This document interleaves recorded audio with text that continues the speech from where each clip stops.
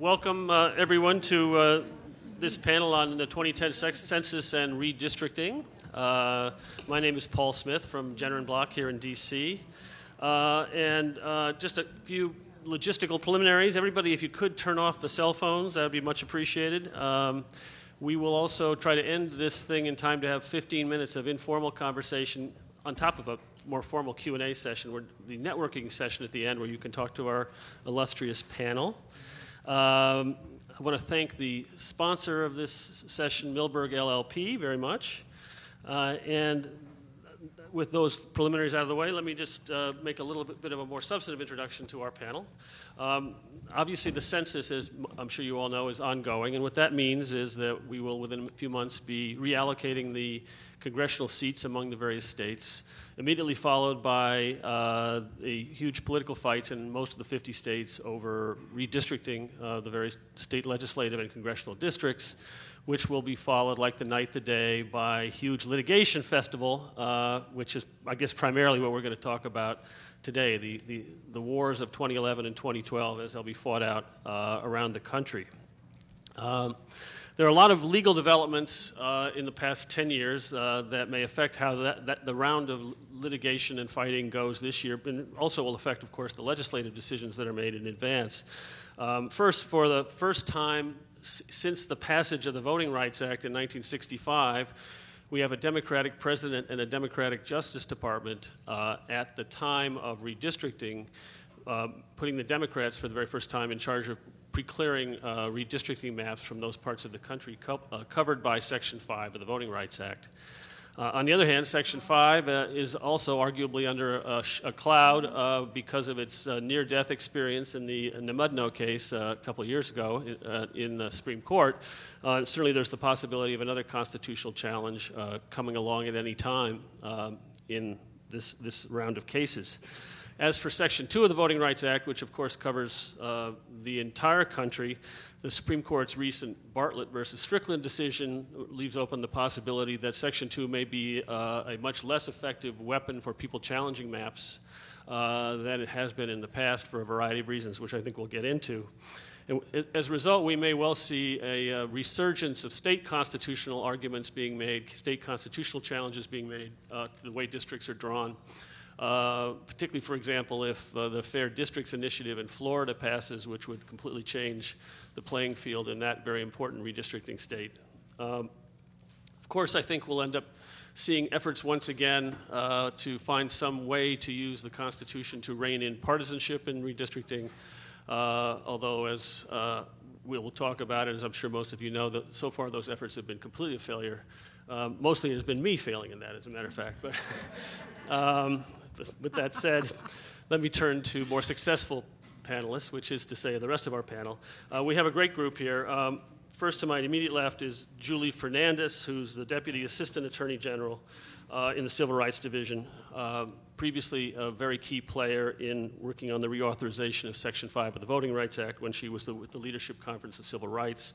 Has a long, illustrious career before that, too, uh, although she's very young, as you can see. Uh, but that's in the, in the pro- brochure. I don't want to spend a lot of time giving long biographies, which you can read, but I do encourage you to read them.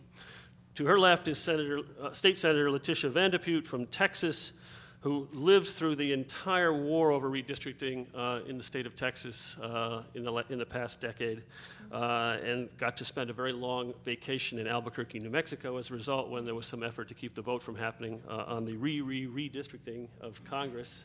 Uh, uh, in some, somewhere in the middle of the decade. and she's going to give us kind of a, the politician's real life experience kind of view about this whole thing. Uh, to her left is Kristen Clarke, the co-director of, political, of the Political Participation Project for the NAACP Legal Defense Fund. Uh, I've been on a lot of panels with Kristen. She's speaking on this subject a lot, but she's also one of the leading experts on, on the Voting Rights Act and redistricting in general. Next down is Nina Perales, uh, the Southwest Regional Counsel for MALDEF, who litigates redistricting cases in the Southwest, primarily Arizona, Texas, and the like, and is extraordinarily experienced and quite brilliant, as you'll see. Uh, and finally, uh, Allison Hayward, it was until about 10 days ago, was, uh, as her badge still says, was a professor at George Mason Law School where she taught election law She's now uh, vice president at the Center for Competitive Politics, which is an organization focusing primarily on campaign finance reform issues. But she has taught election law as an expert on the, the entire subject, uh, and uh, is also chair of the what do we call it, Allison? The Federalist Society's Free Speech and Election Law Practice Group.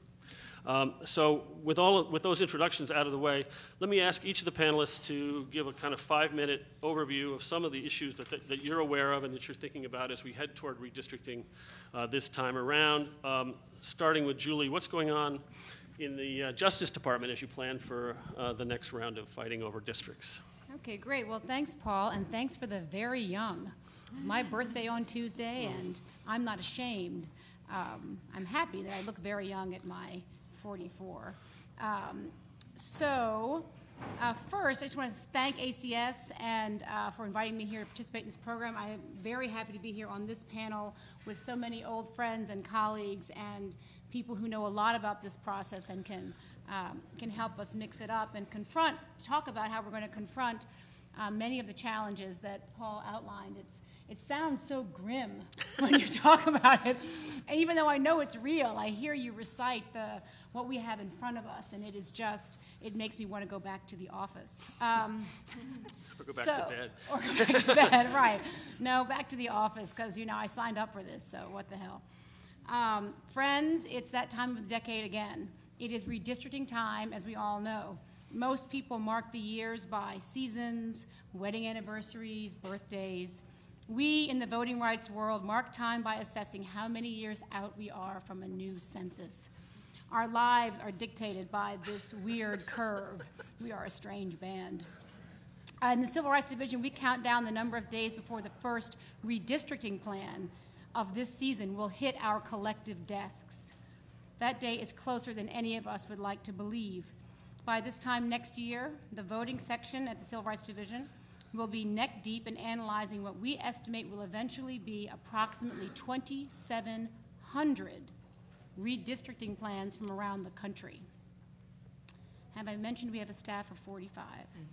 By our estimates, we will receive the majority of those plans in the first 18 months after the census data is released. During my brief remarks here, I want to let you know what we're doing to make sure that we are ready.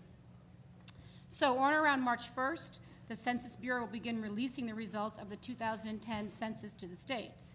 It will then fall to the state legislatures and other elected officials uh, to redraw their election districts. Any jurisdiction, as you all know, that elects anyone in any type of districting system in all or part of 16 states covered by Section 5 will have to draw those new lines and submit them to us. But everybody's drawing all over the country. And some of the issues that Paul outlined around Section 2 will be relevant to them when they think about that process. So under the VRA, we have all or part of 16 states that are covered.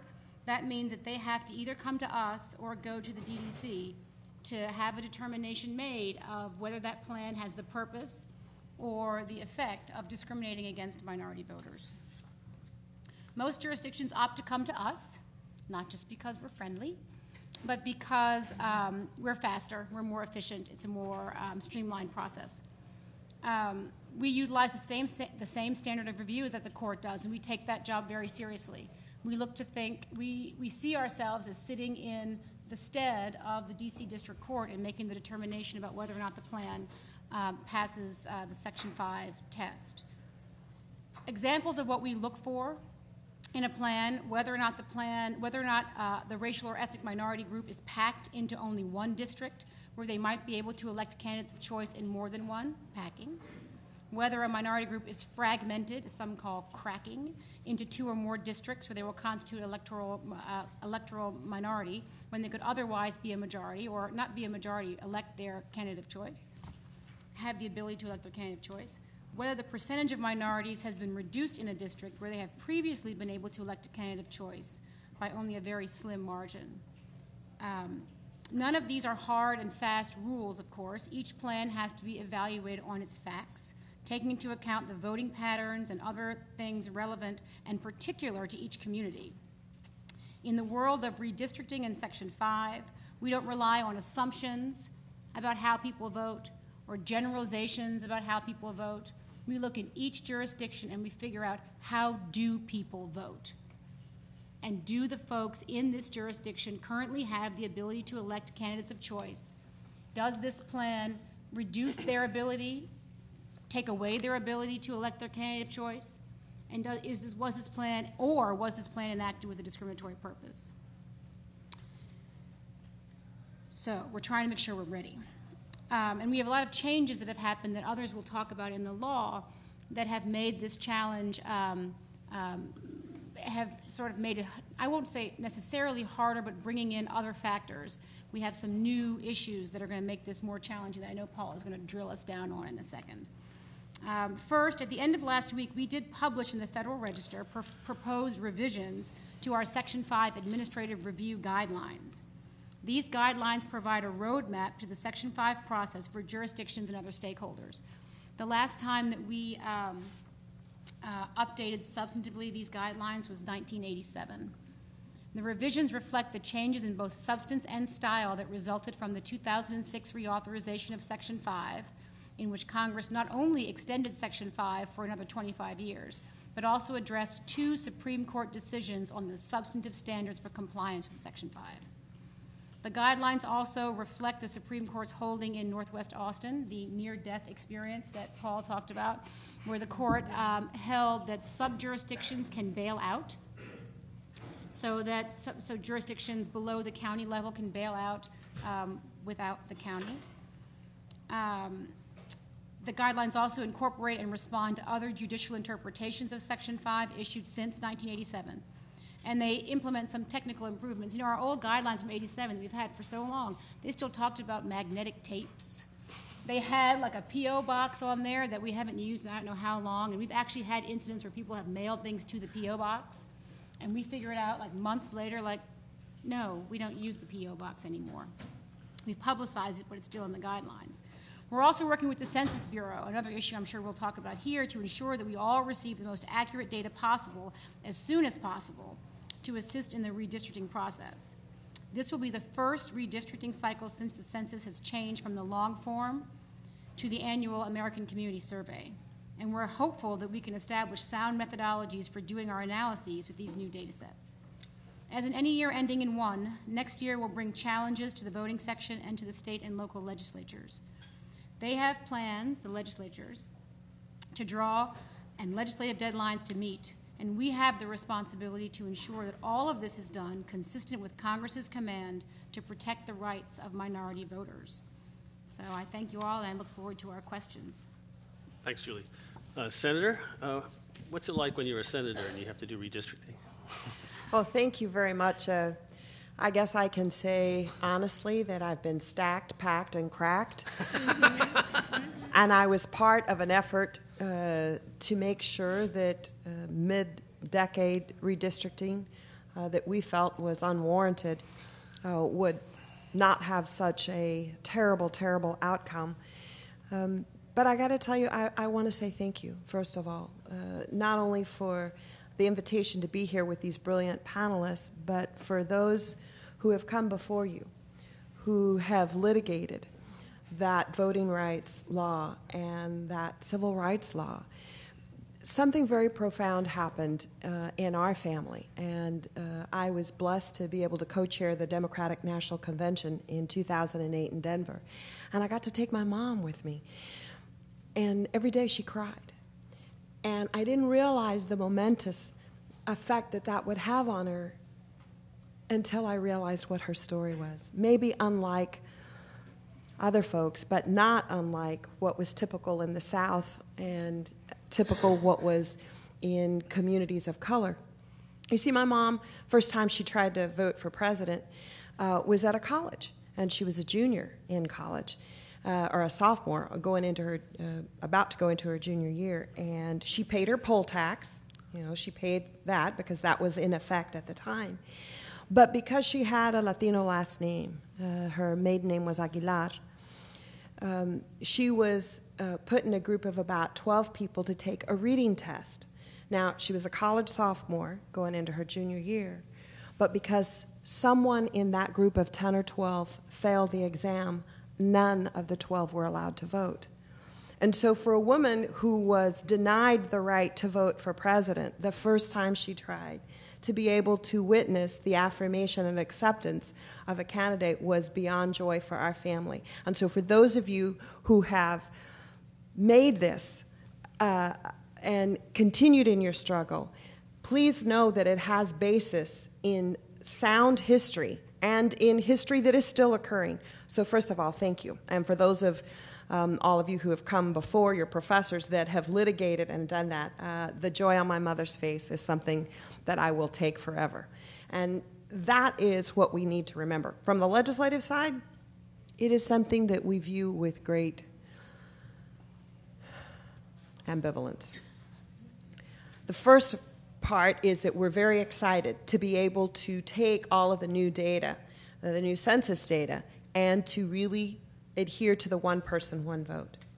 But that natural human instinct, beyond all drives of self preservation, takes over both Democrats and Republicans. I mean, I have been in the process now in 91 and of 2001 redistricting and all the other redistrictings that were mid decade. And I can tell you that Democrats and Republicans will eat their young in a redistricting process. Mm-hmm. It is savage. There is blood on the, your legislature's floor. And a lot of the negotiations are done with the help now of computers and great maps.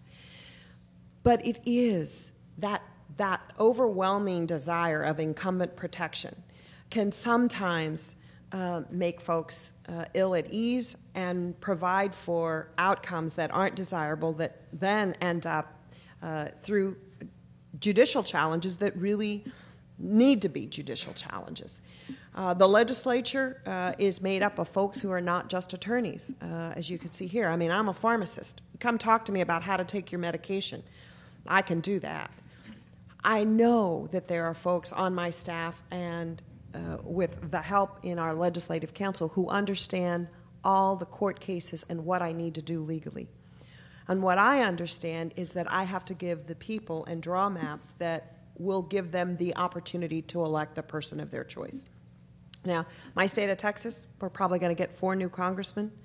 Uh, that's because of our growth, and the growth has been Latino growth. And in fact, the growth throughout the country has been Latino growth. If you think about the number of increase of minorities um, and the growth just from 2007 to 2008, out of every two people, one was a Hispanic. And that is profound change from the 1990s when you can see this. Uh, it's not just about the maps, it's about education policy, it's about human resources, it's about health care. So, what begins with lines on a map has definite income because it affects policy, it affects people's livelihoods, it affects their ability to have the opportunity. So the maps are the beginning. They're the maps that contain the lines of jurisdictions of who will vote for whom and their ability to select the candidate of their choice. But in selecting the candidate of their choice, they affect public policy. And that's why this is real, it is high stakes. And all I can tell you is having um, had the opportunity to lead my Democratic caucus on a quorum break uh, for 48 days. Uh, and yes, we went to Albuquerque, um, New Mexico. It wasn't a resort, it was the Marriott with the plastic plants. but I can tell you that it was well worth it. Uh, we had to stay out of the state uh, because we were under arrest warrants, and had we gone back, we would have been forced back to the into the chamber. It was the only way that we could stop uh, what we figured was an illegal redistricting plan and a power grab and to give the folks time to get to court to file those suits. All I can tell you is the outcome, uh, thanks to Nina and her crew and, and uh, a lot of folks, uh, was more positive. Um, and on a personal note, I wear those scars proudly. I can tell you that fighting then Congressman Tom DeLay was a political risk, but it was the right thing to do. And if you look now, Mr. DeLay is wearing pink sequins, and the only gig he can get is Dancing with the Stars. And I'm still in the Texas Senate. Thank you. Thank you very much, Senator. Kristen, uh, if you what, what's your perspective on where we're going this That's time? That's my perspective. Good morning. First of all, I want to um, first start off by thanking ACS and LaShawn Warren for organizing this very important and timely panel. And I can't start by without first observing that you know I, I speak on panels from time to time, but it's rare I get to speak on a panel with powerhouse women. Uh, like these, these four ladies here. So this is a really exceptional opportunity. And, and we got Paul moderating. Thanks, Paul. It's a tough All right. crowd. So this is, um, I think, a really exciting time for those who um, do voting rights or interested in voting rights. I think redistricting is absolutely the most exciting time to be doing this work. Um, it's also the best and the worst of times. So where are we at in 2010? Uh, this actually is the 45th anniversary of the Voting Rights Act. We've had the um, uh, the act that is widely regarded as the most important and successful federal civil rights law ever passed by Congress in place, 45 years strong. The act is what helped create the conditions that gave, made it possible for us to have a Barack Obama. And we have the act's protections in place going into this next redistricting cycle. So that's a good thing. We also got the mud victory last year, and many people on the table here um, were involved in that effort. Um, the uh, small utility district in Austin, Texas sought to gut the heart of the Voting Rights Act, and we got a ruling that leaves Section 5's uh, protections in place, which is very important, I think, on the eve of redistricting. But it's also the worst of times because constitutional challenges uh, continue to rear their head. In the last two months, there have been some significant developments. We've got a constitutional challenge that's been filed by uh, some white plaintiffs in uh, North Carolina, and we've got another challenge that's been filed by Shelby County, Alabama, uh, seeking to strike down Section 5. And those cases uh, may ultimately be unsuccessful, but it does kind of put us in a precarious position. But we've got to fight and work to make sure that this uh, important and key law is in place for the redistricting cycle. And um, I want to talk about some of the developments that have happened concerning the Voting Rights Act over the past decade. Um, we've got another ruling that was recently issued by the Supreme Court, Bartlett versus Strickland. This was a case that arose out of North Carolina and concerned the question of whether majority minority districts under the Voting Rights Act means just that districts that have to be at least 50% or more uh, minority in their composition. The issue in North Carolina was whether a, a district that was comprised of about 39% of African Americans, where there had been a history of reliable crossover support from white voters, could be viewed as a district entitled to protection under um, Section 2, a core provision of the Voting Rights Act. The court ruled uh, by a margin of 5 to 4 that Section 2 um, uh, litigants in future cases have to show that they would constitute at least 50% of a district in order to bring um, a claim. That's a kind of threshold requirement that needs to be met going forward in future Section 2 cases. But I think it's very important for us to be wary of the Bartlett decision and how it's interpreted and applied on the ground uh, by legislators going forward. So let's talk about what Bartlett doesn't mean. Um, Bartlett is not an invitation to dismantle districts that are less than 50%, uh, uh, uh, less than 50% minority in their composition. Many Congressional Black Caucus members, for example, sit in districts that are less than 50% black. These districts are very important.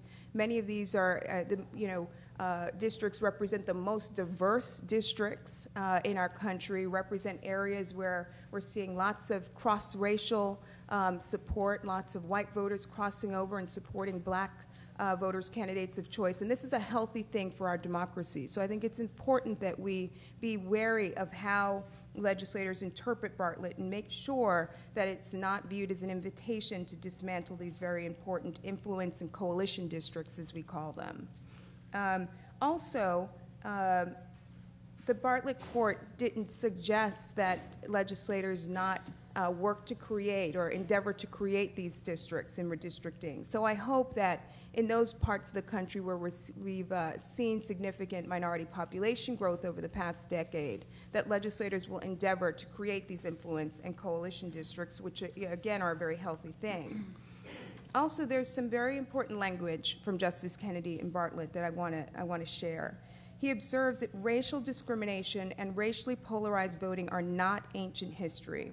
Much work remains to be done to ensure that citizens of all races have equal opportunity to share and participate in our democratic processes and traditions. So, this is this Supreme Court observing that discrimination is something that we continue to encounter. It's still a part of our political reality.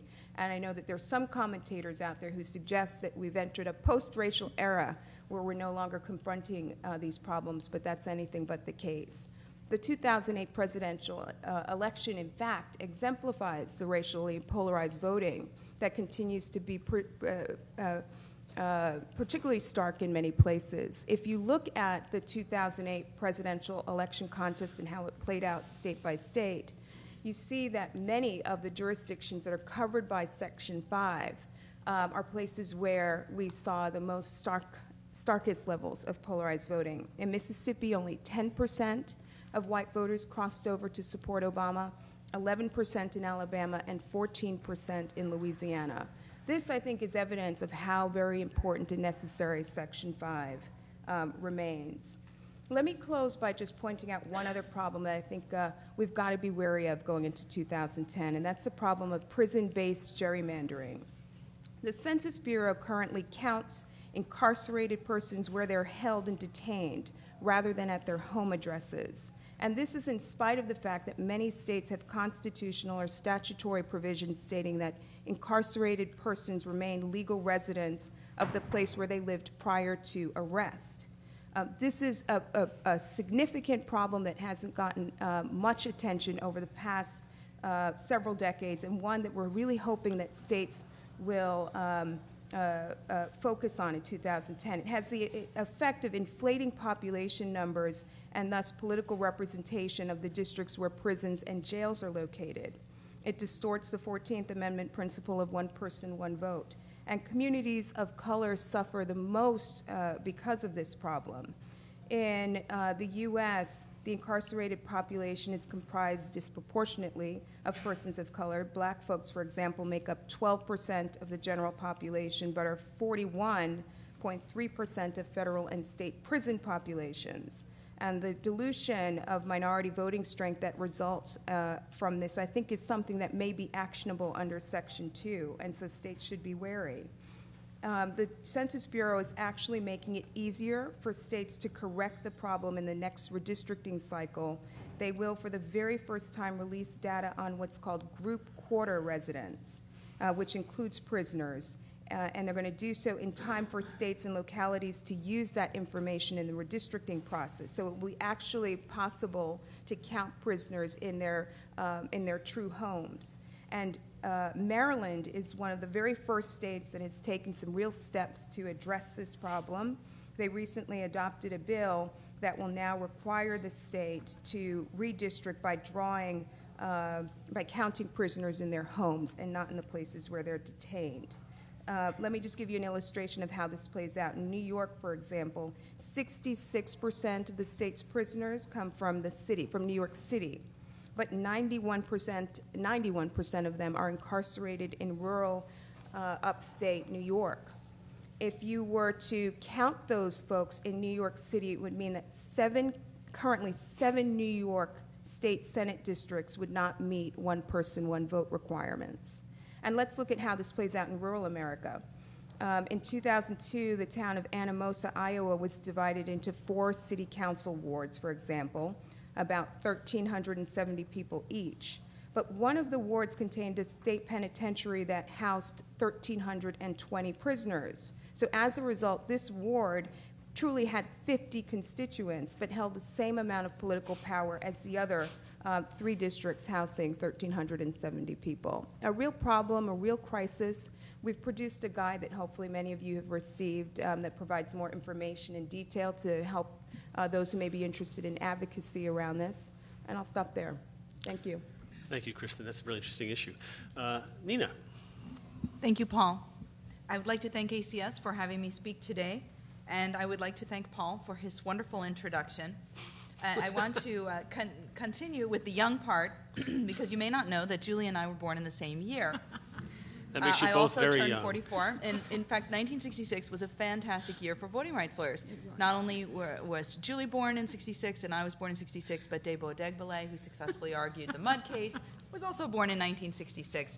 He is the baby of our group.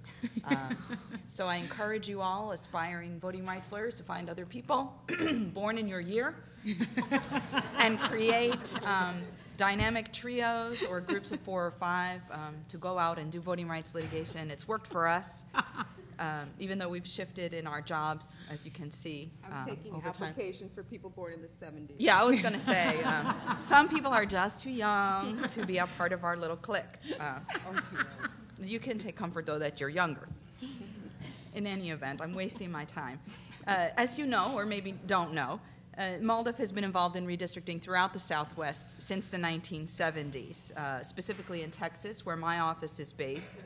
Uh, we have litigated redistricting in every round since the 1970s. So we have litigated redistricting in the 70s, the 80s, the 90s, the 2000s, and then the re redistricting of 2003. In the most recent round of redistricting in 2000, uh, MALDEF, uh, in all of our offices, litigated statewide redistricting cases in California, Arizona, and Texas. I am very excited about the upcoming redistricting. I know some people are worried, some people are sad. You know, people work for the government wringing their hands. Oh my goodness, how are we going to process all those pre-clearance applications? I'm really, really excited to get out there and do redistricting. Uh, some of the issues that are um, that confront the Latino community that are special for our community, since I'll, I'll add those in, very reflective of, of the senator's comments. We are a fast-growing population. Wherever we are, we're growing fast.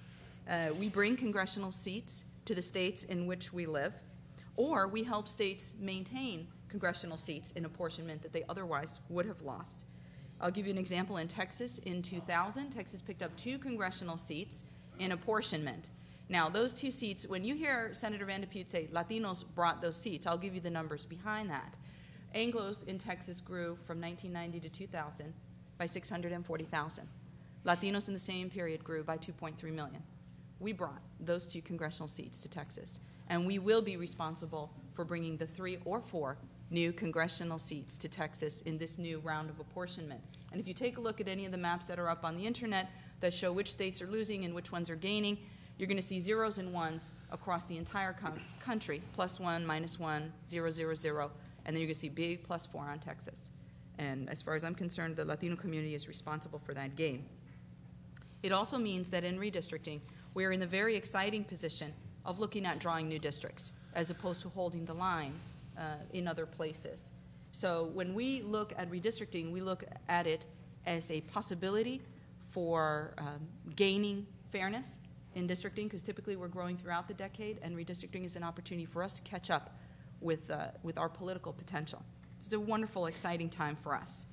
Uh, we also have to deal, however, with efforts to change the way that redistricting is done in ways that can potentially harm the Latino community or limit its political power.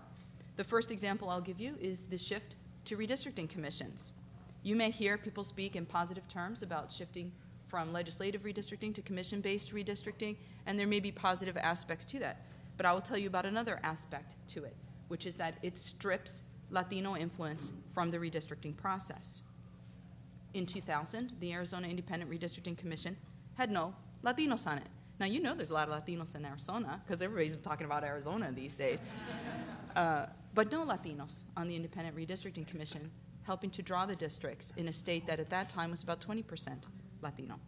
In 2010, California will do its redistricting by commission. The California Assembly is about 20, 22% Latino. At this stage in the selection process for the California Redistricting Commission, Latinos represent somewhere around 10% of the candidate pool. And you know, there's sort of a bunch of very complicated stages and steps that have to be gone through to select the members of the commission. But at this point, the pool is down to about 622 individuals, only about 10% at best are Latinos. So you compare, that's about a 50% drop in the number of Latinos that are going to be a part of this process, at best, if the number doesn't keep going down as the commission is made smaller. I spoke to one of my young attorneys in Los Angeles uh, this morning as he was riding in, and I told him, I'm going to go talk to ACS. What do you want me to say about the California Commission? And he said, and I promised I would deliver this message, that it's a sham to call this an increase in democracy, that it will be government by bureaucrats. The state auditor is choosing people who are not accountable to anybody through the political process and to voters, and who themselves will be so heavily reliant on the technical support that's provided to the commission that this cannot in any way be called an improvement in democracy. So just take that for what it's worth. I know there's lots of opinions on it, uh, just so you know. And then finally, another attempt to change the way that redistricting is done. And this one is aimed specifically at Latinos, and that is uh, uh, changing the way uh, that one person, one vote is interpreted. You've heard Kristen talk about one person, one vote implications with respect to prison population. And the message there is that people should be counted for apportionment where they live.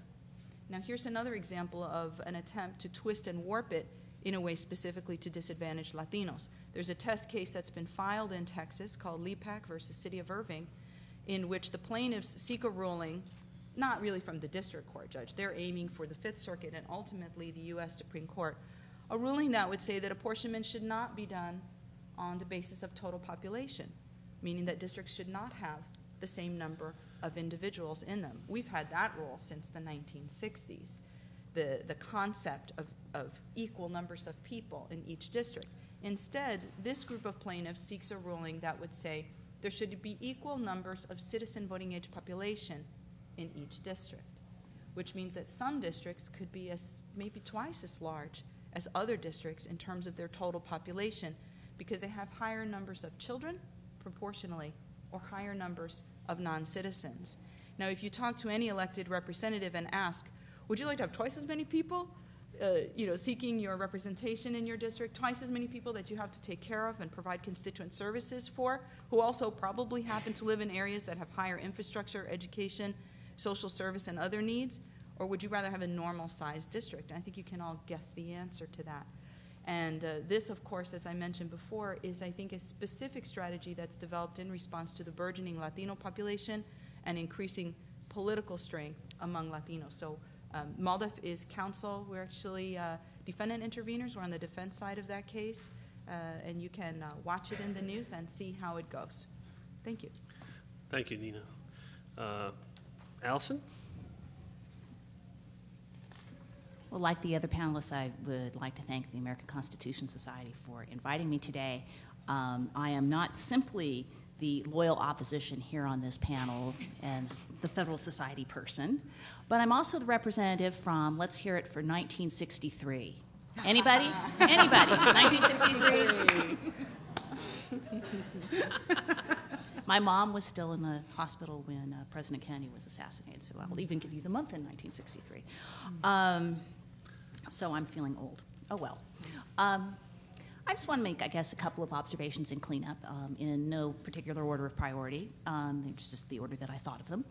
Um, in terms of managing the census, um, and um, I, I hope I'm not, I don't surprise anyone with this view, but it is a view that um, not all my, my colleagues share on my side of the aisle.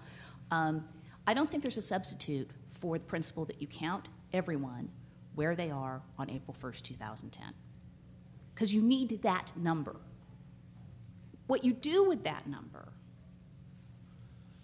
is up to, is, is up to debate, but you need that number. And so the notion that we don't count people um, because they're not citizens or we count people in one place other than the other, let's start with the proposition that we count everyone where they are on April 1st as best we can. Um, now, what do you use that number for? Well, you know, I think I think that's where the discussion gets interesting. Um, you know, what do you do with people who aren't anywhere within the 50 states on April 1st but are Americans? What do you do with Mormon missionaries? Mm-hmm. Utah's excited about that issue. Uh, what do you do about other expatriates who still feel that they might be Americans but are, oh, diplomats or business folk living overseas or, or, or have dual citizenship and are living overseas? What do you do about people who are stationed overseas as members of the military? Um, you know, and we don't treat these classifications all the same. We don't have one rule that says, you know, everybody who's a citizen gets a place in the U.S. for the census, and we don't have a rule that says that none of them do. We have, you know, we, they're different. Um, and there's, there's rationales for that, but still, you know, the, the census number isn't, isn't as clean as it might appear. Certainly the problems with prisoners, um, with students, um, with folks on bases within the U.S. Um, and I, I guess my, my, the sort of wisdom I would draw from this is we need the census number to tell us where people are on April 1st. But maybe the number we for use for reapportionment and redistricting is different from that number. I think if we, if we start talking that way, it depoliticizes the census a little bit and puts the pressure on the decision makers who are doing redistricting and reapportionment decision making. Um, that is, the political actors, or in some places, um, commissions, who are part of the messy part. Um, I would really like to see, um, this is probably uh, uh, sort of a pie in the sky thing, I would really like the census to become as um, much, uh, as, as little of a political football as possible. Because I think we need, we do, the, the statisticians and decision makers and people who are allocating, you know, revenue and um, trying to plan for services and trying to plan for infrastructure need to know where people are. Everybody. Okay. So that's, that's my one sort of out there point. Um, not necessarily following that from that, though, um, but I do want to say about redistricting. Um, um, I will make a contrarian statement at this time uh, because that's my job here on this panel. And also, I believe it. Um, I think the one person, one vote principle in Reynolds v. Sims is nice as a goal or as a philosophy, but as literally as it's been taken in subsequent decisions, I think it's got a pernicious effect. Um, it doesn't prevent line drawing machinations at the, in state houses across the country, especially now that we have laptops that are more powerful than the mainframes that, that put the man on the moon. Um, it doesn't yield uniform districts nationally, obviously, because we have state boundaries that cut off little piles of people, and so the, the, congressional districts that are one person, one vote drawn in Nevada are not the same size as the ones that are one person, one vote drawn in Wisconsin or in Alabama or in Florida. Um, so you still have a variation in population. Um, I, I, can't get my head around why it is that we can tolerate that at the national level, but we can't tolerate that within the state. I think the answer is, oh, but if you give people some, some, some leeway, they'll just be even worse when they're um, gerrymandering then now, where at least we have this one judicially manageable standard that we can press on top of a gerrymander and, um, and impose some sort of discipline on state houses. Well, maybe, um, but I, I don't see a lot of th- that discipline in the first instance, so I'm not sure how this, uh, this very strict standard has really helped, and to the extent that it um, doesn't allow for districting on other sorts of traditional districting grounds that we would embrace, things like communities of interest and county lines or whatever it might be. Um, so, um, I also, um, I, th- I, think the city of Irving challenge is interesting because it's bringing up sort of this, this latent point in, in districting, which is even if you have equal populations, there's vast differences in the representational experience of people representing districts where you've got um, you know large voter turnout and districts where you don't, districts where you've got you know a lot of civic engagement in districts where you don't, um, and that, that's just life. That's politics. There's no solution for that, um, except that I think what the city of Irving case is bringing up is, well, okay, in Reynolds v. Sims, the court talked about one person, one vote, and the, and the value of a vote shouldn't change based on where you lived. Well, presupposing that voter value is, is sort of the thing that, that we should be tipping off when we're looking at, at um, districting, maybe there's a place for a conversation about whether voting eligible population or voting age population is a is a you know, legitimate um, basis, um, especially, especially if in um, places that are covered by um, the Voting Rights Act, you also have a non-retrogression principle, and so you have to work through that. Um, I, anyway, to, to, to, get back to my sort of um, my, uh, my, my plea for the census becoming less political, I think if you backed off one person, one vote, the what to do about some people and how to count them becomes a little less urgent, and maybe that too would um, lead uh, the census um, treatment to become a little less political. Um, because districting is going to be ugly. Um, it's really ugly in states where you lose a seat. That's a sad. That's a sad thing. In Texas, you got four seats. You can argue about who gets the goods, but at least you know the pie is growing. Um, shrinking, you know, midwestern and, and you know northeastern states. That's painful. I, I mean, Pennsylvania maybe not as painful because one of the people who might be affected is no longer with us. God rest his soul. But um, in other states, you've you have the real possibility of a state legislature sitting down, looking at its congressional district, and figuring out who's not going to have a job. And even in you know a single party situation, or you know where, where the, the same party controls um, the delegation to Congress as well as you know that state houses. In fact, that's probably even more painful because you're talking about you know taking somebody who's who's a leader of your party and telling them they no longer have a job. Um, so California Citizens Commission or any sort of independent citizens commission, whether it be you know, retired federal judges or people chosen out of the phone book or people chosen by the state auditor or me or whoever, you, um, somebody other than the state legislature. Well, you know, the, the idea, the ideal is you take the politics out of this and you get something that looks a little more like you know, an administrative decision about how to carve districts up in a way that is sensible from um, the various goals that you have in, in, in representation and governance and communities of interest. You're not, you know, packing, you're not cracking, you're not, you know, drawing lines that reach clear across the state, all those kinds of things. Um, but it, uh, it does take the responsiveness out of the process because you don't have the elected officials anymore. So there aren't any good answers here. You either have you know, politically driven elected officials and the ugly things they do, or you have citizens who probably don't know that much about what they're doing under the um, you know, direction and control of um, you know, the state auditors, statisticians, in a way that's not responsive and not political in the good sense. Um, maybe there's less blood in that process, though. Um, I think the jury's out on the California Commission. I think I think it's kind of gimmicky. But, um, but if it yields um, a map in California that um, serves people in California, then um, I'm not going to complain too much about it. Um, what else was I going to say? And then finally, I think the, the thing that I wrestle with, and I wrestle with when I'm, when I'm trying to teach the voting rights material, and talk about communities of interest and um, communities, you know, representing the can- electing the candidate of their choices. It's so hard to separate partisan patterns from um, racial and ethnic patterns. Um, I think that's too bad.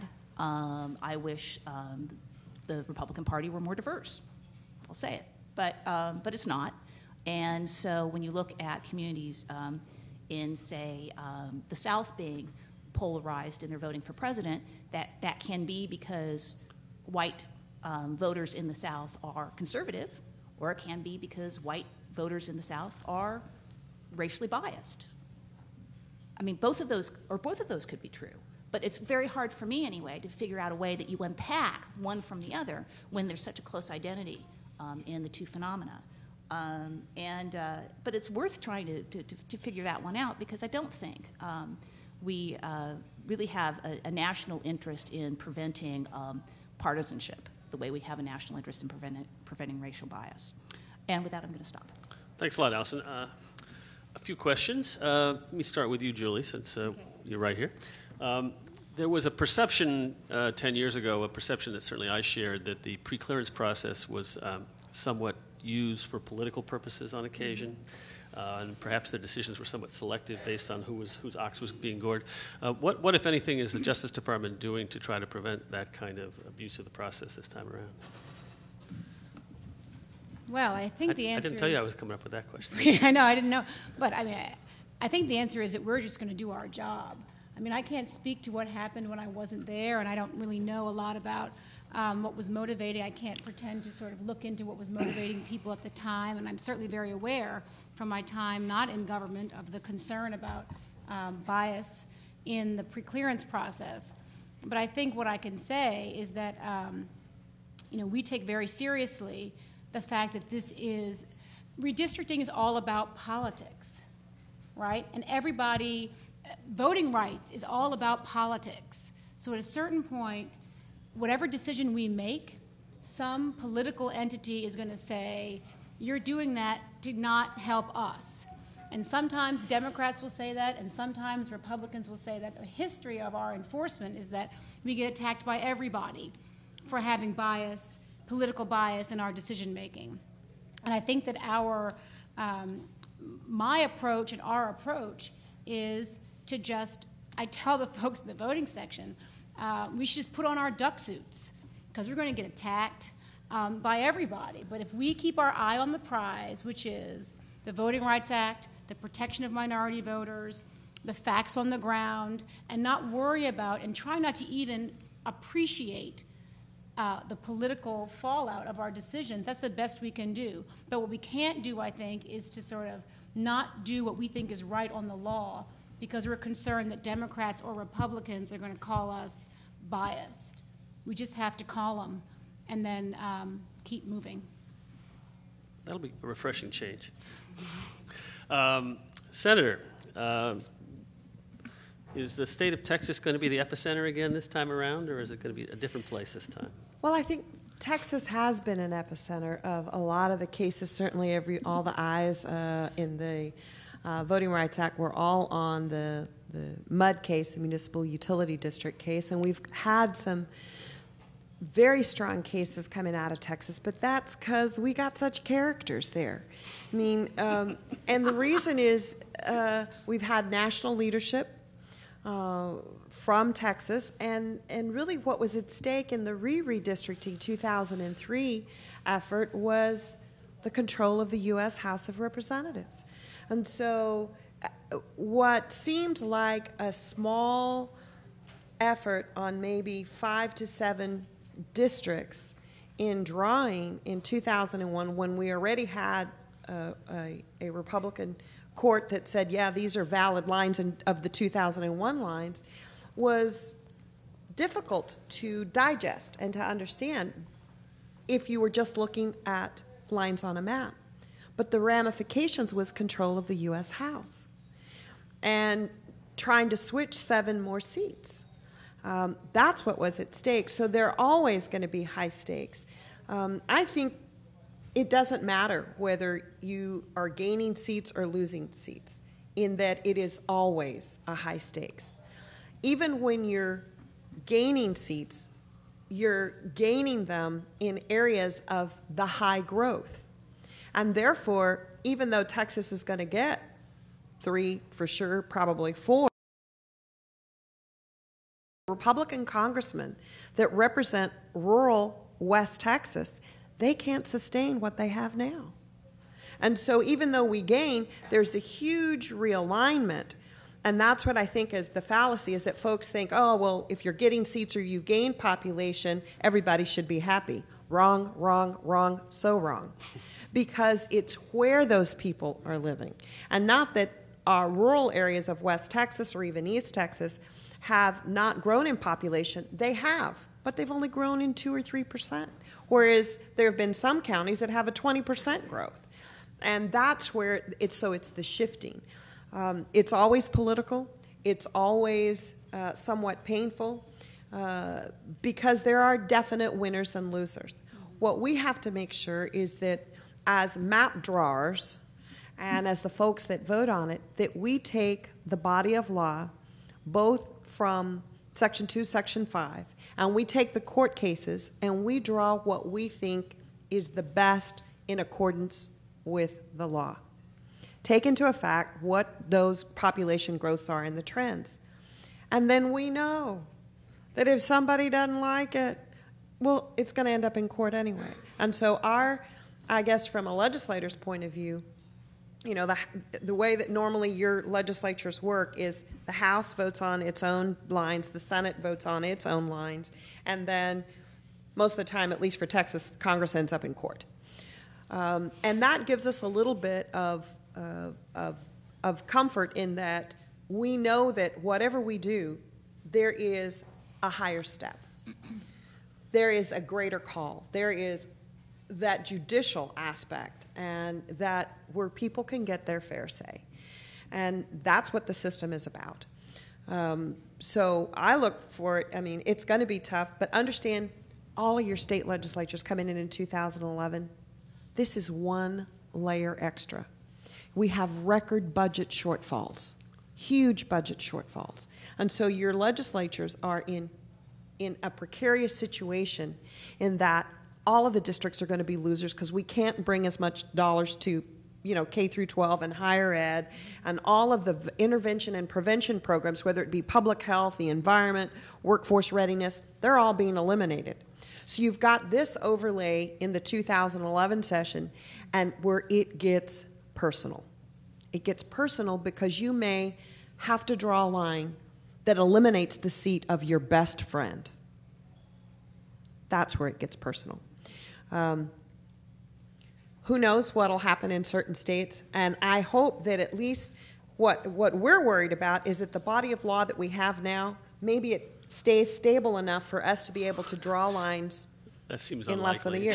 given past experience. it, but at least so we can draw the lines. But what what you what is our nightmare is that we're drawing lines and a court case comes down that throws out the assumption of the very basis of what we're doing, and then you have to start from again from the first uh, uh, little uh, jurisdictions. Uh, anyway, it's going to be exciting.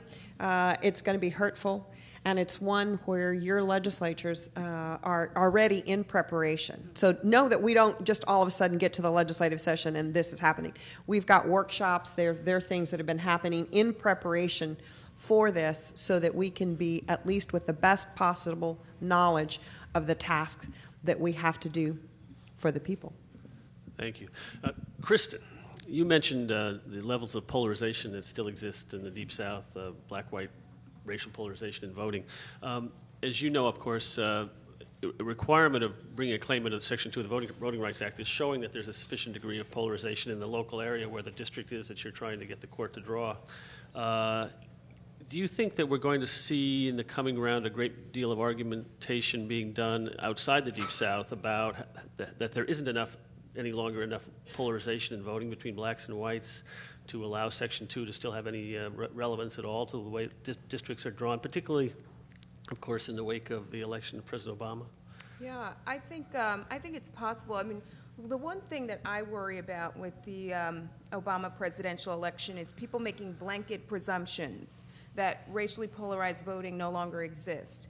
Because there isn't guesswork involved here. It's, you know, this is a question that's generally answered by experts, experts who crunch extensive, you know, election data, match that with racial demographic data to, you know, figure out uh, what voting patterns are really like on the ground in jurisdictions and whether or not you've got racially Right, polarized but the, voting. the experts can't answer the question of how polarized it has to be. And the Supreme Court in the Bartlett case has some dicta that suggests even if blacks are voting 80% this way and white, whites are voting 80% this way, that's not enough. I don't know if, that's, if you think that's going to be yeah, important. that Kennedy dicta definitely is, um, is troublesome. It definitely, I think, sets the bar far higher than it's been in traditional voting rights cases and is something that we've got to, uh, I think, keep our eye on. Fortunately, it's just dicta and not the rule.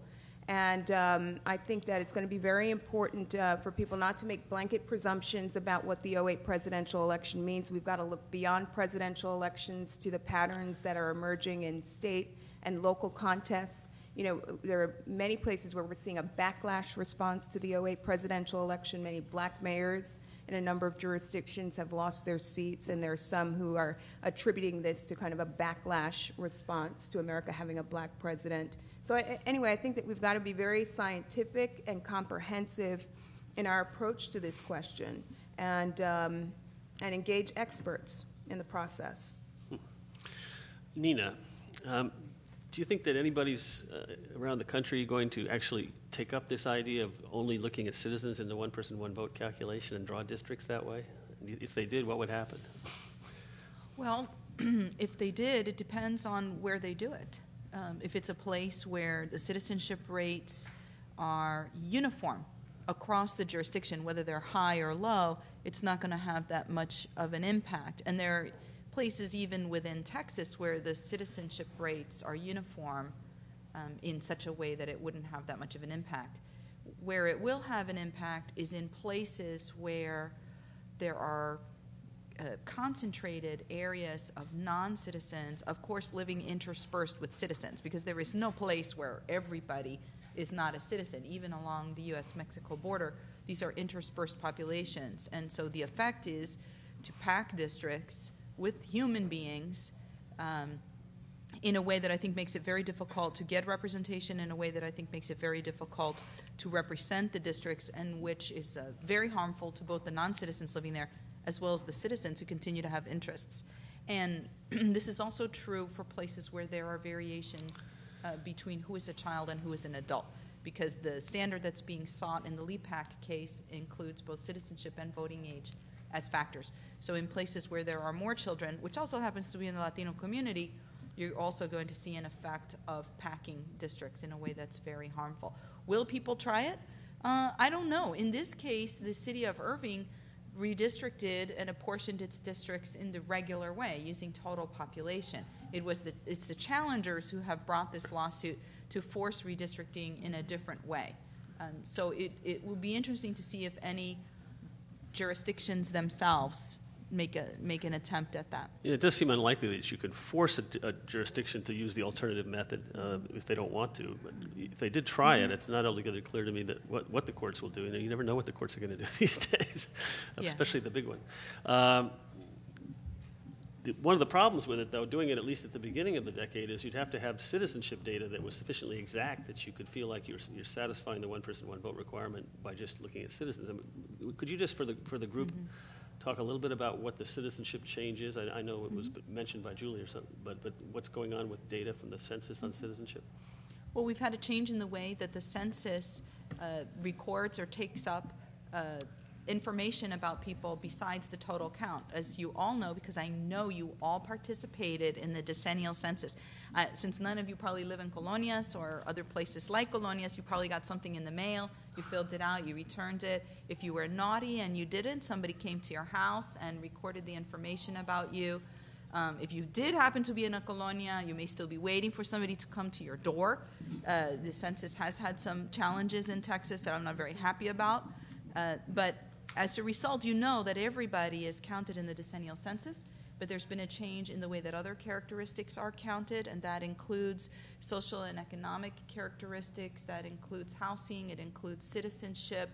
Um, and those characteristics are now being counted not in the decennial census using what we used to call the long form, but instead are counted in a rolling census where samples of people are um, given questionnaires on a rolling basis every two years. So we have different kind of citizenship and other data to work with in this redistricting round when compared to the last redistricting round, and the sample size is smaller.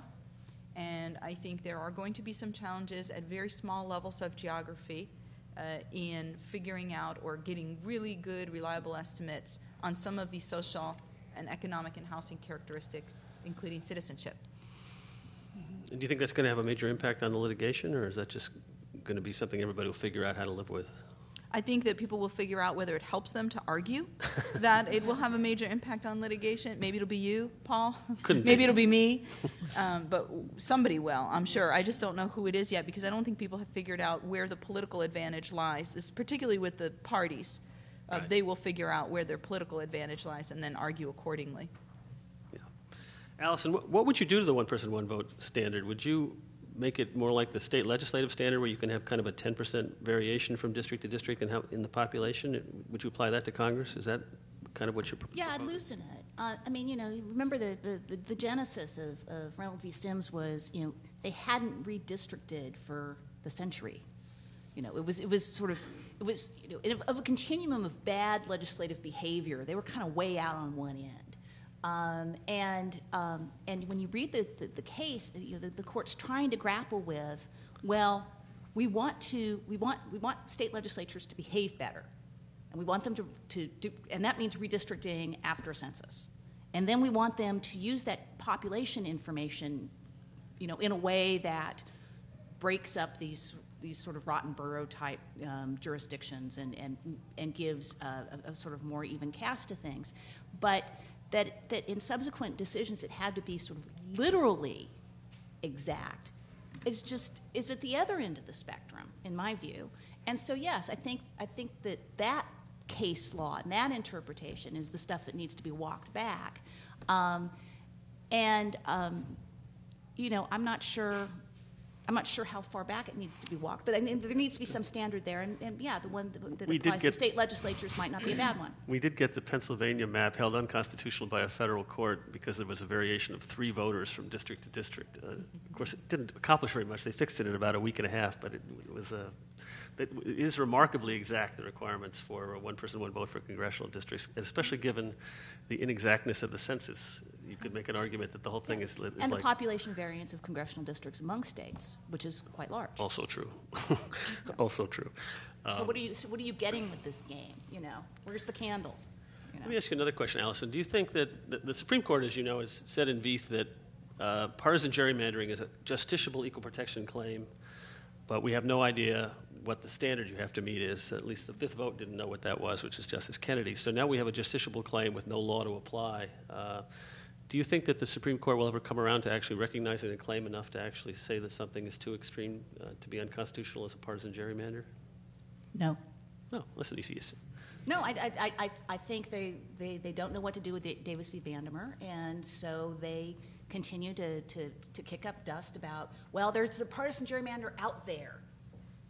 Maybe, we think, but we haven't seen it. And why do you No, I- think, I- I why do you think- think there's such a reluctance to recognize the I think it gets, problem? it gets back to your whole kind of underlying problem of judicial, judicially manageable standards in a, in a process that has to be political.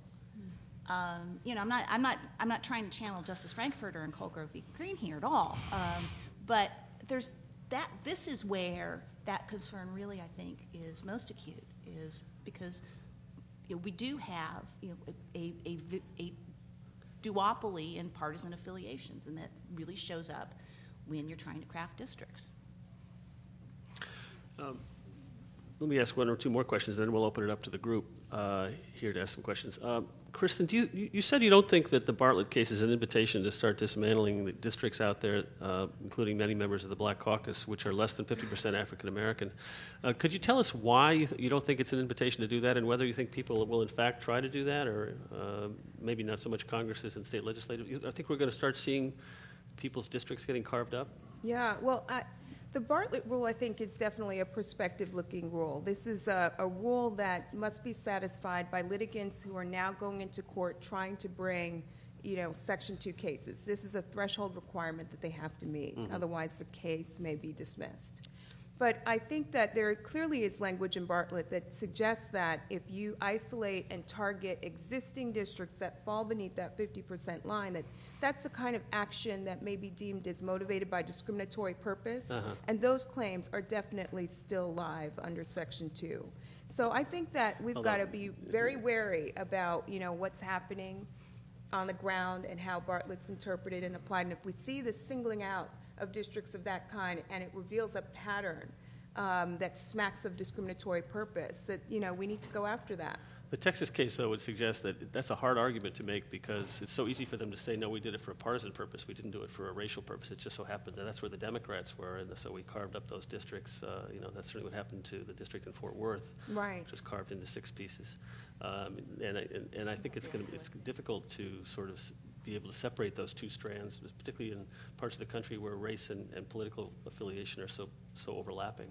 Right? But we've got the Supreme Court's, te- you know, test laid, set forth in Arlington Heights, and I think that, um, you know, where there's a, a clear pattern that can't be explained on grounds other than race, that um, folks like MALDEF and LDF may, may very well try to go after states that try to dismantle those districts. You know, again, as I was saying earlier, the CBC uh, districts help, you know, the CHC districts are some of the most diverse districts in our country. We live in a, an intensely segregated world, but I think these are, are districts where we've got black voters living alongside white voters, and it's very important and healthy to our democracy, I think, for us to stand up and fight to protect those districts. I guess the other thing that would protect some of those districts is Section 5. In Section 5 jurisdictions, there's a very strong retrogression argument. Uh, I assume that's, you agree with that, Julie? You're nodding? I'm, I'm nodding, but I think that there, there certainly is, I'm sure that people would make a retrogression argument, is what I would say. And there's no reason why it wouldn't apply to a district less than 50% district and Right, I mean, providing Bartlett- rep- actual right. representation to African Americans or minorities in general. Absolutely, because the standard after the reauthor, the reauthorized Section 5 makes clear the standard under Section 5 is ability to elect. It isn't 50% plus. Is that going to mean that uh, maps like the one that was passed in Georgia, where they replaced a smaller number of, of maybe 50% African American districts with a larger number of 30 and 40% African American districts, and the Supreme Court in Georgia versus Ashcroft said that was okay. There's a certain amount of leeway. We're not going to call that retrogression. You can give representation in, in uh, kind of different ways and different packages. Uh, essentially, is that, is that case been overruled by Congress in the, in the reauthorization of I think Section 5? I think the Congress tried to make clear in the reauthorization that the test is ability to elect. And the test is not um, whether or not, in response to Georgia versus Ashcroft, the test is not, um, is this a district where minority voters have an ability to influence? It's a question about whether or not minority voters have an ability to elect both in the old and in the new. And so, as long as it's a district where uh, their candidate of choice, including members of their own group, can get elected, that would still, that would be viewed as non-retrogression regardless of the specific percentage? Is that the, I mean, I think what I will say is that, right, Bart, the Bartlett rule about fifty percent is a section two rule. Right. And the rule under section five is an ability to elect rule. It is not a fifty percent rule. well, I guess at this point, um, uh, we'd love to hear from you if you have questions about things that are going to happen uh, down here in front. Oh, we have a microphone. If we could get that going first, I think that's more important that this be recorded for posterity and that everybody here. Thanks very much for uh, coming to speak to us.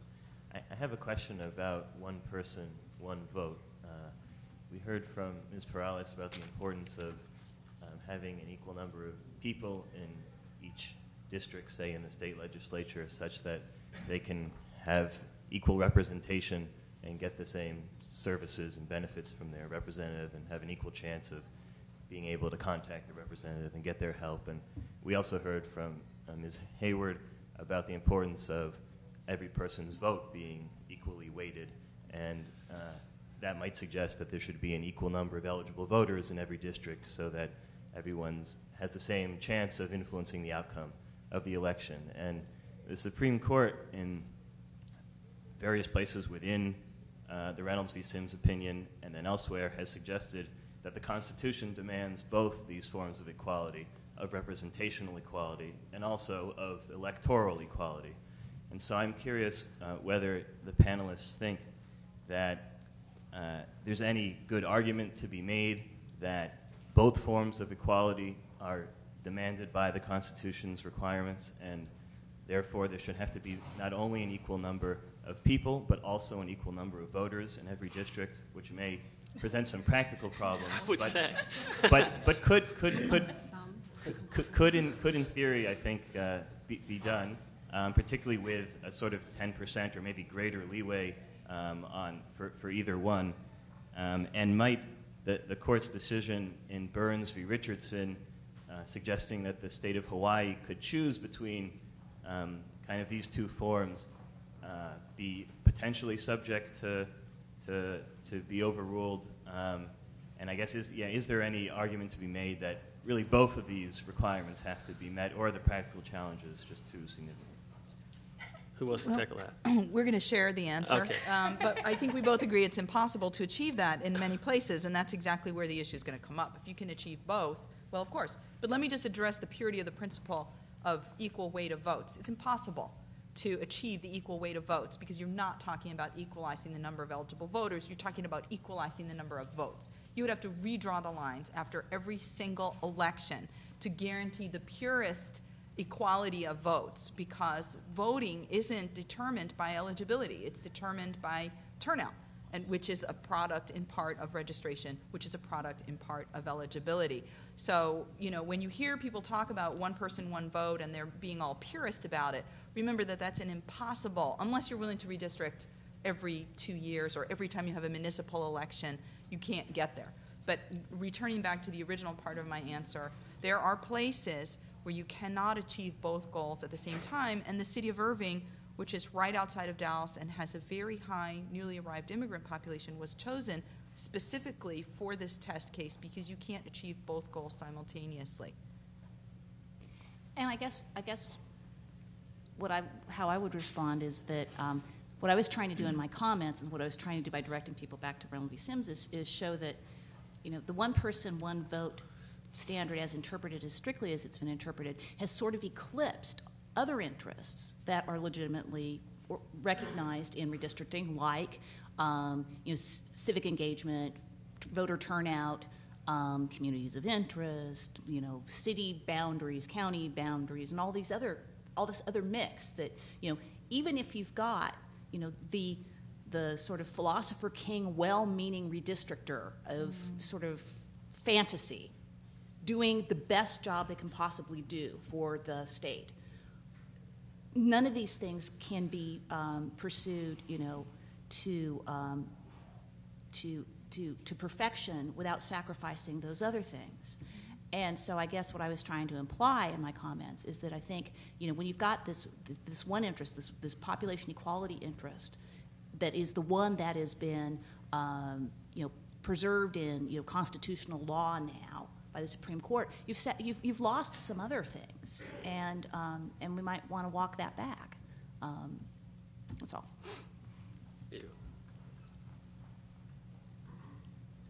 Hi, a couple of things. Just on the California situation, I'm from California. I would just like to point out the commission that Ms. Perales has very appropriately uh, dissected up on the table there.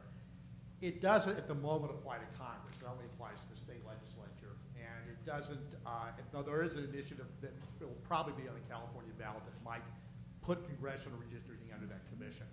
Okay. The other point I would make about Ms. Hayward's comment about, you know, walking back Kirkpatrick v. Price, that is the absolute equality case. I just actually happen to have some statistics from some congressional quarterly reviews of redistricting in the 1950s, before Reynolds v. Sims. I think what you're proposing would just get us back into a gigantic quagmire, uh, where the thing about the population equality standard, it's a manageable one. Uh, whereas if you didn't have that, you would have districts that would vary before Reynolds v. Sims in the congressional. Texas 5, 951,257. That was one of the largest districts in the country. The smallest district in the country was Oklahoma 4, 252,208. Within states, you would have variations. In the 1950 round of redistricting, Maryland 1, the Eastern Shore, 210, 623. Maryland 2, the Baltimore suburbs, 366, 962. You really want to go back to those kind of things, and the reason, if, and if you go read, and Michael Barone is not by any means a flaming liberal. If you read his book, Our Country, he will tell you that had there been Reynolds v. Sims instead of Colbert versus Green, after the 40 and 50 census, the urban core voters would have been represented. In fact, if you look at the 1952 U.S. House elections, where you had a 221 Republican majority, the Democratic numbers actually were larger, were of the two-party vote were about 52 percent. But in the districting, it wasn't equal. So my point is, the absolute quality standard actually is a judicially manageable one. It ought to be retained. I would even take it, if, if it were up to me, I would even get rid of the 10% rule on state redistricting. The reason is, is if anybody's worked in a campaign, shifting something 5% one way or another can decide an outcome. Okay, thank you. We'll call that a question. Uh, You, do you want to comment on that, Allison? or- Do I think that population equality is not a value in redistricting? No, I think it is. Thanks. I mean, the, uh, one, one argument you could make, though, is that the, the exactitude of the, of the congressional requirement is what ends up making you bisect every single municipal line, every single county line, every precinct. I mean, it, it, it does require much more jaggedness than you, than you would otherwise have if you had a little bit of leeway. I mean, that's an argument a lot of people make. Another question? How about over here?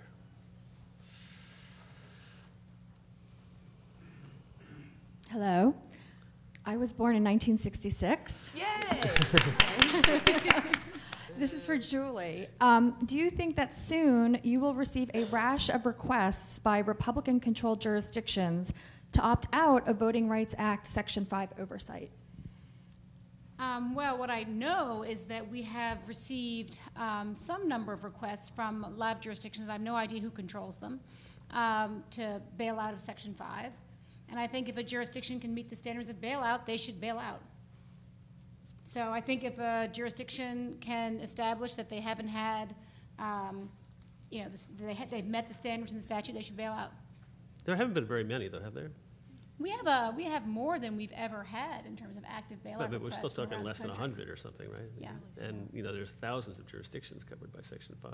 Well, I think, frankly, I think that our job would be, um, in, on the whole, more manageable and easier if a lot of the jurisdictions that, could- that are eligible to bail out would petition the court to Which bail is out. really small towns that, you know, don't have any history of It's problems. not even right? just small towns, I'll tell you. I mean, there are, there are a number of jurisdictions that I think meet the criteria, and they don't bail out because they don't want to, but it would certainly make it easier for us if they did. They have to It's not show- a big deal. Their, their burden is low, they submit, they are pre-clear, they have low minority population, they have no, they have no record of problems, but they just don't. They have to have no denials of preclearance in the past 10 years? Is that one of the requirements? Yeah, we do have, I mean, we have discretion to have sort of um, roundness to our standard, so. I- I wanted to add that there are jur- jurisdictions that prefer to be covered by Section Absolutely. 5 because when they receive preclearance, that is a, like a stamp of approval from the federal government, and it, it helps them gain some credibility among their constituents that it's been submitted and approved. Yeah. So I think that um, feelings about wanting to be covered or not covered by Section 5 may not be all that closely lined up with partisanship. Right, I Because I can think of some small democratic places that are just annoyed at having to submit, even though the paperwork is very light, and I think they're moving towards doing it online, so it'll be Yeah. super easy. And then Yeah. there are probably other places where, you know, there may be Republican leadership who enjoys the stamp of approval and, and the ability to sort of navigate their own politics that is, that is given by uh, preclearance under Section 5.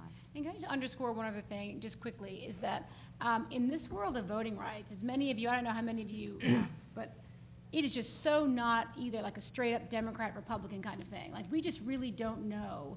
That's why I say I have no idea who could, the, who's control, what political party might control really any of the pending bailout requests that we have, or much of the work that we do. I just have no idea. I'm not that. I'm actually not one of those people that knows who all the governors are and what their parties are. I just don't know. Um, and, and we have found over the years, you never know where, um, why a jurisdiction for their political, whatever their political reason is, Democrat, Republican, Green, um, why they may be challenging a particular thing that we're doing or not like an outcome or want to bail out. So um, it really is not, some of our worst um, challenges um, have come from Democrats at, that have shaken, you know, um, our statute, and then some from Republicans. It's just not that simple, which is why we should just ignore it. Up and over here in the back. Hi, my question um, is, I think for for Nina Perales, but also maybe for the senator as well. Um, so, let if we go into the future, we have Texas getting four extra seats. What does that mean for the representation of the Latino community in Texas? Um, how many of those districts will actually represent the interest of the Latino community? Is it that um, if you look at the number of people who are voting, or the number of people who are eligible or voting age, et cetera, um, are those new districts actually going to represent those people, or is that going to be a problem as well, where you have people who are elected because you have these new districts, but they're not actually representing the population that got them these new seats? But yeah, we don't draw those kinds of districts, but I'll let the senator go first. Thank you very much. Um, my grandmother was a very wise person. She was born in Mexico and came when she was um, about eight, so she only went to the third grade. But one of her favorite things to say of all these little dichos, you know, these little wise sayings that your grandmothers always tell you, is El que sabe que no sabe, sabe algo, which means if you know what you don't know, you know something. Well, in the case of actually drawing the, the lines, what we know is that we've got to draw the opportunity.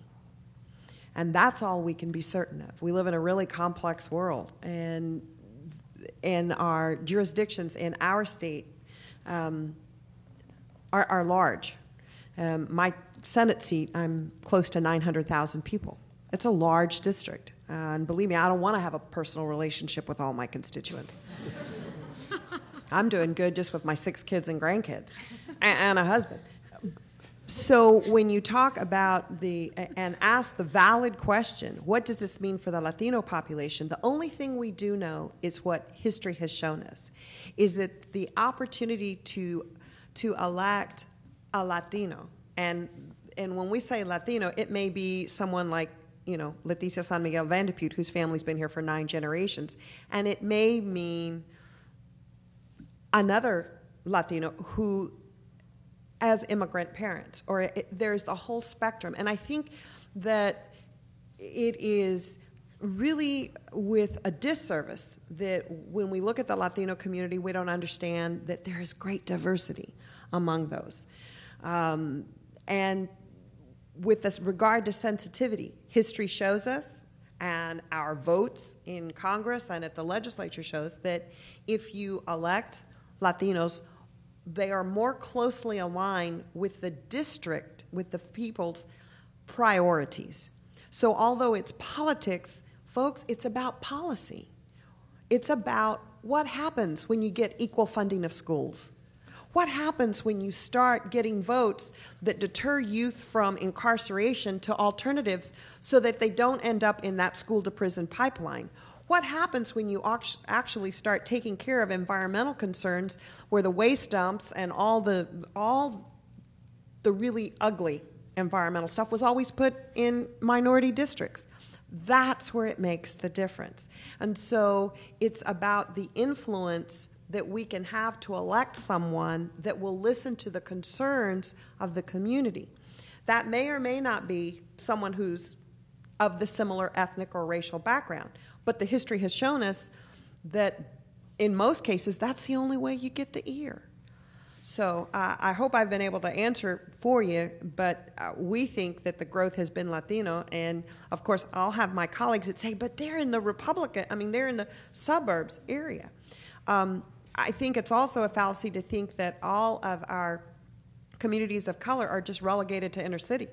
I'm going to tell you, if you look at some of those West Testic districts, the only reason they haven't been eliminated before is because of the growing Latino population.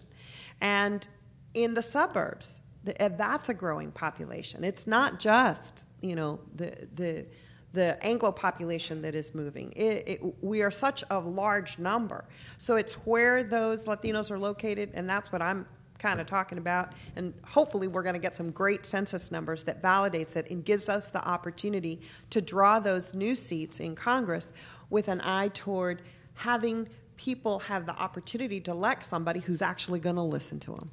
I'd like to follow up specifically when we draw Latino opportunity districts in Texas and throughout the Southwest, it's usually because they're being compelled under Section 2 of the Voting Rights Act, right? So um, there's a, a long, complicated, but transparent process of going to court and demonstrating that the district meets the requirements under Section 2, which is that it has a majority. And in the Fifth Circuit, where we are, and also in the Ninth Circuit, where we do a lot of litigation, that's citizen voting age Latino majority. Then we have to further demonstrate that it provides the opportunity by using statistical analysis and reconstructed elections. So when I say Texas doesn't draw districts in, the way that you had sort of described a hypothetically ineffective but so-called Latino opportunity district, we don't have those because we go through such a high standard of compelling these districts to be drawn. Um, the kind of district that you're describing hypothetically doesn't exist in Texas. All of our districts at this point that are congressional districts are Latino registration majority districts that are electing the Latino candidate of choice. And that is largely the case throughout the rest of the Southwest. So rest assured, if that was a concern, not happening. In the back on that side? Um, hi, this is a question about felon disenfranchisement. And I was thinking, it occurs to me that you know the argument that people in jail should be counted where they live, or where they lived before, it doesn't really lose all of its force even if they do have full voting rights. So I was wondering if we could imagine like a theoretical state where, you know, the legislature does something and the next day basically everyone in jail, everyone on probation has full voting rights again. I'm curious if, for redistricting purposes, they would be counted where they're in prison or at home, and I'm also curious if they actually voted in an election, where would we count that, that vote as well? Um, yeah, um, there are a lot of things that would have to happen before we got to the world that you just described. I think um, you could probably count on one hand the number of states where persons who are detained can get to vote while incarcerated. Most states um, disenfranchise persons who are detained. We just got a very good victory um, in the Ninth Circuit, striking down um, Washington State's felon disenfranchisement law, and that's currently um, going to on appeal, and. Um, there is a bill called the Democracy Restoration Act that's pending before Congress that would restore the right to vote to persons uh, for, who are not detained in federal elections, not getting a lot of traction. Um, so I, I, I think that the world you describe is very, very far off. And so I hesitate to kind of uh, come up with a hypothetical, hypothetical answer. I mean, to me, if we can kind of deal with the real problems we got, kind of get states one by one to adopt um, laws that permit persons who are at, you know, at minimum not detained, get them the right to vote, that would be a huge victory. And in 2010, for purposes of redistricting, if we can count people uh, who are in currently incarcerated in their true homes, where their uh, constituents and representatives might, uh, uh you know, truly take steps to address their interests and needs, that would be a, a, a good victory, I think. That, I think, has to be uh, the last word. Uh, we are going to be around, though, for another 15 minutes or so for some informal networking uh, for those of us who want, those who want to hang around. Uh, in, in, the meantime, let me just say there's a lunch uh, with Secretary of Homeland Security uh, Janet Napolitano following this panel at 1:15 in the ballroom next door. Additionally, there'll be a, a remarks by U.S. Representative Linda Ch- Sanchez at 5 o'clock in the ballroom, followed immediately by a plenary panel, Immigration Reform, Congress and the States, at 5:30 and the day will conclude with the welcome reception uh, uh, at state, in the State and East Room at 6.30. So enjoy your afternoons, uh, and let us thank the panel.